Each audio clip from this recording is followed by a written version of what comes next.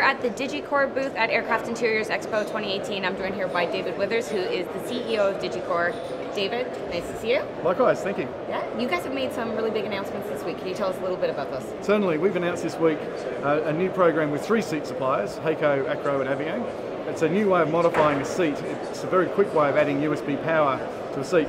Uh, I think most airlines will now tell you that their passengers expect to have power on board. It's you know, almost a hygiene factor now, mm-hmm. and the ability to do that really quickly and very cost effectively is a, a significant advantage. Mm-hmm. So, what does this kit comprise of? Certainly. So, the kit from digEcor now comes with a very simple to modify seat kit, um, which we've now demonstrated through here at the show can be installed on a seat in less than a minute.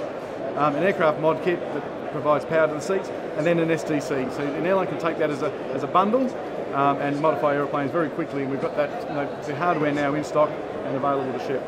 So this kit um, it works in conjunction with seats from the three suppliers that you've mentioned. So you know, how big of a market does this open up potentially for this uh, kit to, to work? Yeah, with? certainly, and we're working with other seat suppliers as well. But th- just just those three represent tens of thousands of seats in, in, in the installed base today. there's a lot of aeroplanes out there that airlines recognise need to be upgraded with power, and this, this opens up a significant number of those. They do. I was mm. flying on a single aisle aircraft, so I think just a couple weeks ago, looking for the power Yes. it's almost like I couldn't believe that there wasn't one there. Exactly. And it, it's funny because just a few years ago there wasn't anywhere. No, no expectations at all. Yeah, yeah, very frustrating when you get on. There's not.